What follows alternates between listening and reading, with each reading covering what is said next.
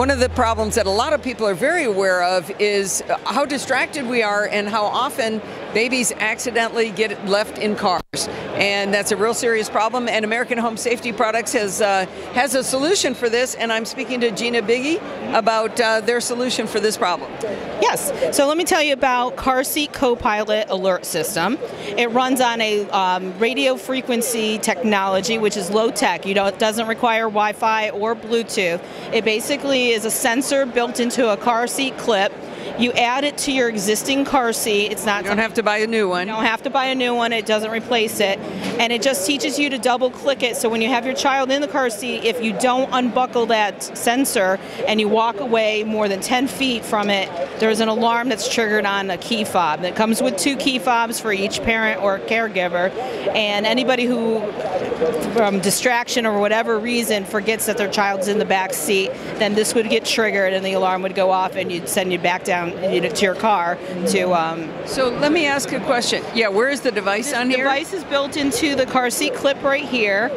In this, so that replaces the regular it lower half. It doesn't oh. replace it. You so it's like, it's like the chest brace that goes across, but it's Correct. another one across the waist. Correct, and, and we have a we, we, don't have the best representation here for the baby doll. There's a baby doll. You didn't want to shove a real baby no, in. We sent men shopping. This is what they come back with. Sorry. Hey, hey.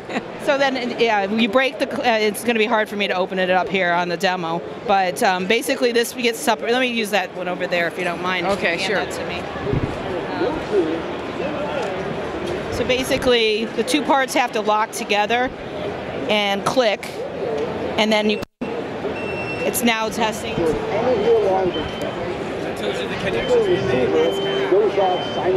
Unless you um, take it apart, then um, it will set off an alarm to your keychain. So, so my, my question is going to be, so we've got two key fobs, so right. Uh, mom and second mom or whatever, they've each got one of these. Yep. Uh, if if one of them is far away already, how's that working? Um, Cause, because it, it, synchronizes with both of the key fobs, but it's it's basically within the 10 feet um, distance. So if another parent has the key fob in their their vehicle, that's not going to get set off. Okay, so it's just the it's just one of the key fobs is nearby and correct. then stops being nearby. That's correct. Yes. Okay, so you can only get 10 feet away, correct. and it's going to say, "Hey, you forgot something." You forgot your most precious cargo in the back seat of the car. Go back and get them. Very interesting. I like that it's low tech because sometimes it's the best children way. a year die from this, so it is a, a really good solution. It isn't going to cost very much. It's a great gift to give uh, expectant parents and parents of uh, children under the age of three. Right, right, right. So if people want to learn more about the, uh, let's see, it's called the Copilot from American Home Safety Products, where would they go? They go to copilotalert.com. Copilotalert.com. Very good. And uh, when is this going to be available? It's available now online on our own store, and we're pushing it out to retail this uh, before summer.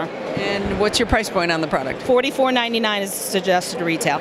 Wow, forty-five bucks to save your child. Uh, you know, I, I think, think most people it. can make that one happen. Thank you very much for You're your time. Welcome. Thank you. Thank you very much.